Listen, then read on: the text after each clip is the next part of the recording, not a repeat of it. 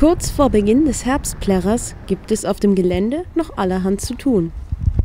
Oh, ja, wir brauchen noch gut einen Tag, bis wir fertig sind. Die Aufbauarbeiten sind so ziemlich äh, im Gange, aber die Wartung ist natürlich das Entscheidende. Ja, das sind 200 Scheiben und spezielle Spiegel und die müssen immer speziell aufgestellt werden.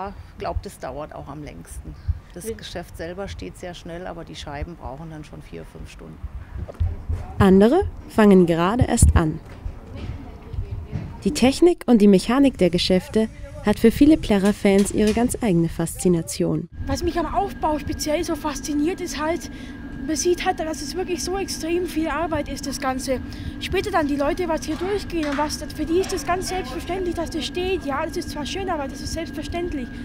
Ja, und auch die Neuheiten sind natürlich interessant, weil man das zum ersten Mal sieht, wie es aufbaut. Und, und mich interessieren auch die Familien, die Schaustellerfamilien mit dem ganzen Umfeld, mit ihrer Geschichte, Tradition. Und sie sind ja eigentlich die äh, Träger des Ganzen. Wenn sie nicht wären, hätten wir hier gar nichts. Das spürt man deutlich. Auch die ganz Kleinen helfen bei den Geschäften ihrer Eltern mit. Wir sind voll dabei. Manchmal helfen wir freiwillig. Wir haben Spaß auf dem Lehrer wie jeder andere. Und wir tun halt immer miteinander spielen und auch mal was fahren. Weil wir uns da alle halt sehen, alle Kinder. Nicht jeder ist halt auf dem gleichen Platz. Auf dem Plärrer sind halt fast alle. Wir leben eigentlich wie jeder andere. Für uns ist das normal. Die Arbeit, die damit zusammenhängt, hat also auch etwas Positives.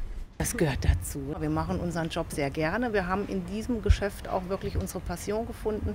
Wir machen es mit Leidenschaft. Wir finden es total toll.